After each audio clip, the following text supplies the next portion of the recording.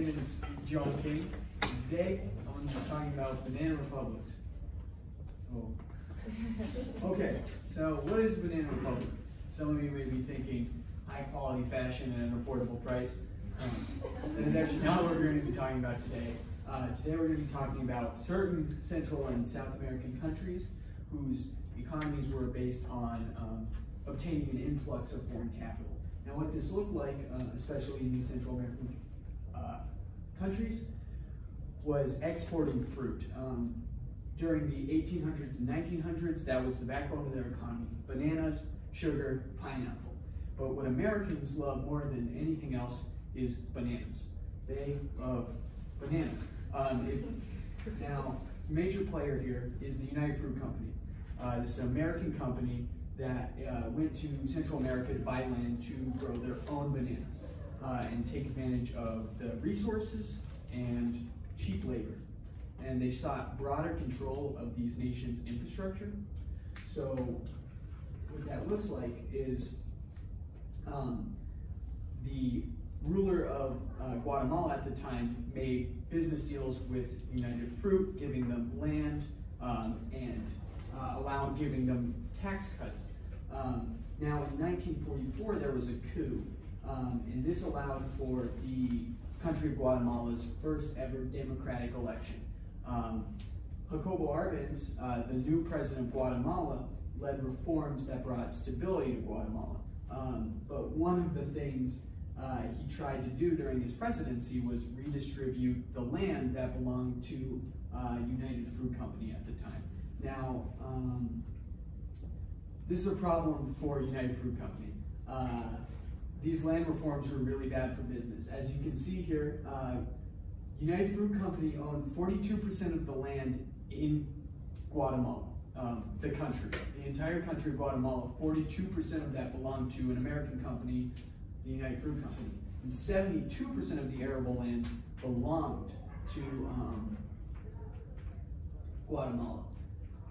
Now, um, with uh, Guatemala here, the reason this is such an issue is because uh, Jacobo Arbenz uh, wanted to buy back the land from the United Fruit Company um, using how they evaluated this land on their taxes. Now, United Fruit Company undervalued the land on their tax reports to uh, cheat the system and make more money. So that means they were buying back the land from United Fruit Company for very cheap and redistributing that land to poor uh, Guatemalan farmers. Now, who here is a red-blooded American? All of us?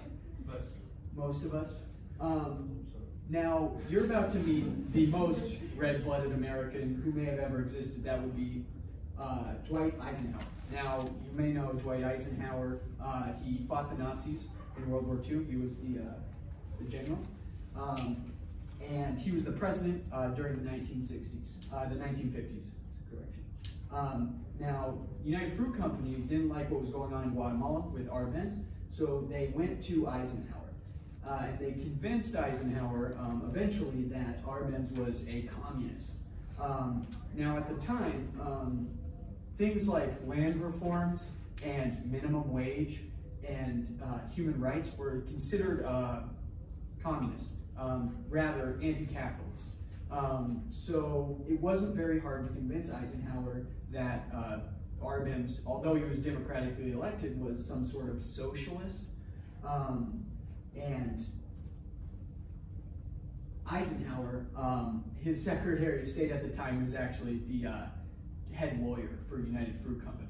Um, so, yeah. Um, so Eisenhower used the CIA um, to overthrow the government of Guatemala. Uh, they led a coup in the 50s and they killed the president of Guatemala and installed a US-backed dictator. Uh, you're looking here at Operation PBSuccess. So US-backed rebels uh, quickly overthrew the government and the army. They installed a US-backed dictator, and the new government returned to granting excessive and complete power to the United Fruit Companies, um, or the United Fruit Company and other companies at the time. Now that is really bad if you're a Guatemalan. um, but really good if you're in the top five percent of people in Guatemala, or uh, you hold some sort of direct share in the company. Now, if you're some sort of poor farmer that is working on these lands, obviously it is a horrific life to live. And you can see here are other nations which are considered banana republics or were considered banana republics at some point. Uh, we got Bangladesh, Botswana, Costa Rica. Honduras is another big one where uh, the U.S. overthrew uh, their government and installed a U.S. Uh, backed dictator to uh, hand reforms to these companies. Um, and now, where is the United Fruit Company now? Uh, Chiquita Banana. you know them, you love them. They're still around, and they actually Dole is another one, a similar company who did similar things during the 60s. And you may be asking, what are they up to these days? Um, being extradited to Colombia for paying uh, terrorist groups um, to kill trade union members. Uh, that was in 2006. Um, so they were actually um, funneling illegal funds in AK-47s to this paramilitary group right here, uh, the AUC, uh, to keep control of their banana plantations. And that, again, was in 2006. Um, thank you. ハハハハ!